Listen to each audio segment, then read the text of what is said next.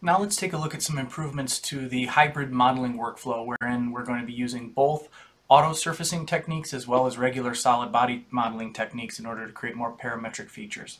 And the reason we might want to do that on this very organic looking model as we see here is we're going to have some uh, mounting holes that are going to be better defined as parametric circles and cones as opposed to the uh, auto surface features.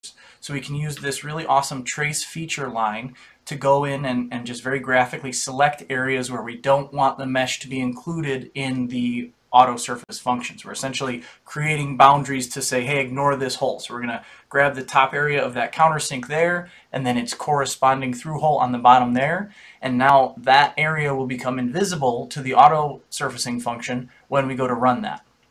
So if there's about five or six other holes there that I went through and did uh, and, and sped through that, and we're going to be running the auto surface function with our new, and this is the key here, selective surfacing.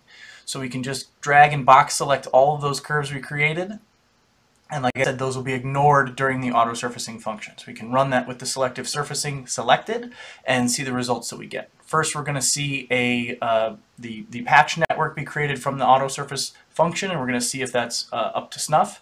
Do a quick visual inspection, then we're going to run it and create the solid body.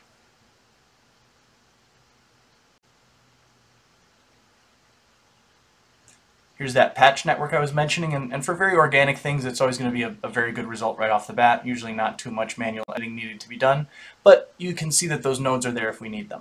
So looking good, we're going to accept that, and then we're going to create our solid body based off of this patch network.